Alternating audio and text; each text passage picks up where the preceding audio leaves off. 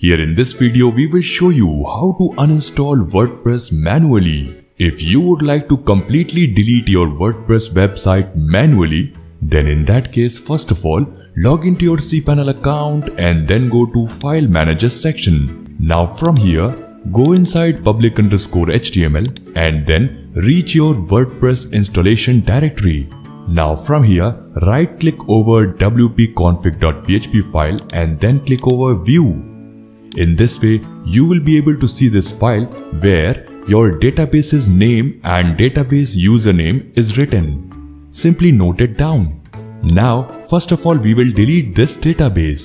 So, go to your cPanel account again and then go to MySQL databases. Now from here, you will find the list of databases in your cPanel. If you have just one website, you will find only one database. Simply click over delete in front of that database which you saw at wp-config.php file. Click over delete database to confirm the deletion. Now again go back and then we will delete database user.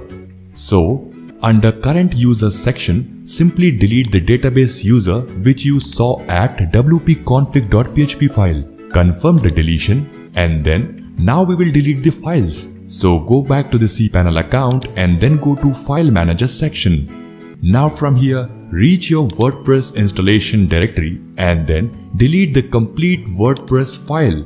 Once you have deleted all the files of your WordPress installation, you can be sure that your WordPress is now removed completely. If you are looking for a reliable web hosting provider to host your WordPress website, then is the best option for you. You must give a try.